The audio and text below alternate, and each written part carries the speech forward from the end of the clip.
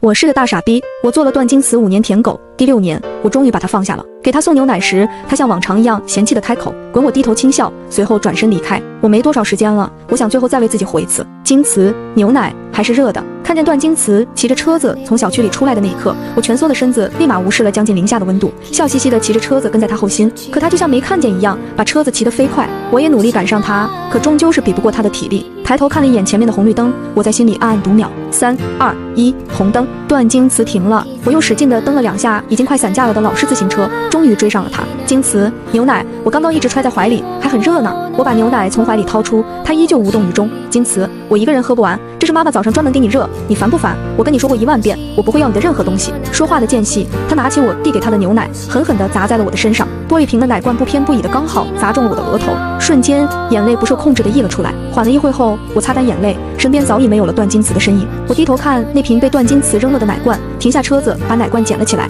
真结实，居然没坏。看来今天又要喝两瓶奶了。我把奶小心翼翼地放进书包，推起车子离开。一百零四天，这是段金瓷拒绝我的第零四天。到了学校，我把书包放下后，同桌下晚凑了过来。青青，你额头怎么回事？我揉了揉额头上已经凸起了的包，笑着摇了摇头，没事，早上不小心撞到电线杆子了。夏晚明显不信，但却也没有再问，毕竟我们的关系只是同点，而你们的天系只是同果而已。早读铃声打响的时候，我拧开了被段金瓷扔掉的那罐牛奶，一口气喝掉了一半。读完早自习，一瓶牛奶终于被我喝完。江青，外面有人找。坐在前排的女生朝我这里喊了一句，我把奶罐放回了书包，走到了班级门口。门口，我张望了一下周围，并没有看见什么人。直到走廊尽头，有个染着红头发的女生给我出了个口哨，她身边还跟着几个衣衫不整的女生。这呢，小妹妹。她朝我招了招手，我低下头，快步朝她走去。这已经是我这个月第二次见到她了。走到她面前，我没有说话，她则是自来熟的拦住了我的肩膀，嘴巴凑近了我的耳朵。妹妹，你哥又在我姐哪里借钱了？我点了点头，问他多少。他伸出五只贴满钻石的手指，在我面前晃了晃。我下意识的问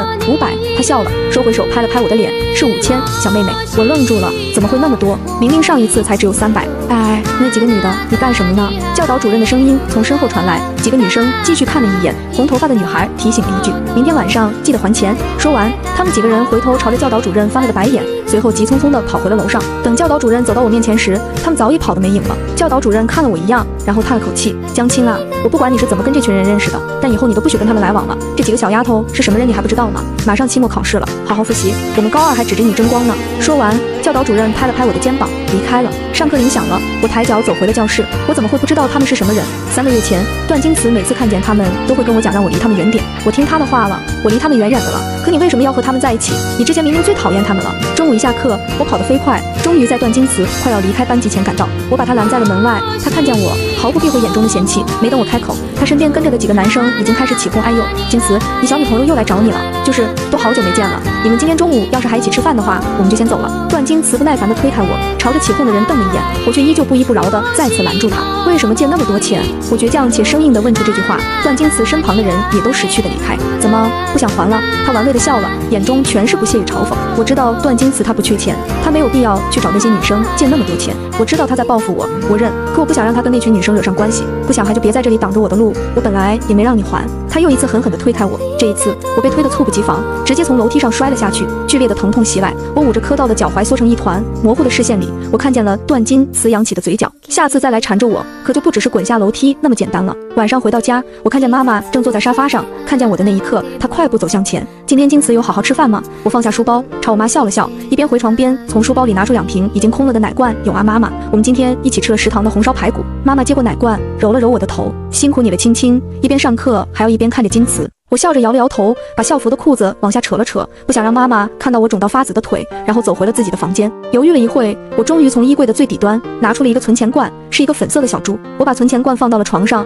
盯着它看了好久，最后把它狠狠地砸向了床头。存钱罐应声而碎，一张张鲜红的纸币和零零碎碎的五十二十立马从里面涌了出来。我慢慢地把碎掉的小猪碎片捡起来，放到一个鞋盒里，确定了碎片全部都在盒子里后，我开始数散落的钱。我把每一张钱都展开放好，每张钞票的角落都写着我和段金慈名字的最最后一个字。整。理好所有后，我数了一下钱，一共欠一百块钱，还差两千九。思索片刻，我还是敲开了妈妈的房门。怎么了，青青？我用手扯着衣角，用很小声点声音跟妈妈说：“妈，学校要交补课费。”我妈没有犹豫，打开了床头柜支的抽屉，里面有一捆被纸包起来的现金。妈妈的动作很慢，她数一张，我记一张，直到最后一捆钱只剩下寥寥几张。妈给你三千，交完补课费吃顿好的。我犹豫了一会，终于接上妈妈的钱。我不敢看妈妈的眼睛，转身离开。那一晚，我在妈妈门口趴到了半夜，房间里抽泣的声音直至深夜。第二天一早，我就在学校门口看见了那几个女生，她们又一次笑嘻嘻的把我揽进了怀里。怎么样，妹妹？红头发的女生伸出两只手指搓了搓手指头，她笑了。那晚上老地方见晚自习下课后，我只身一人前往哪家台球馆。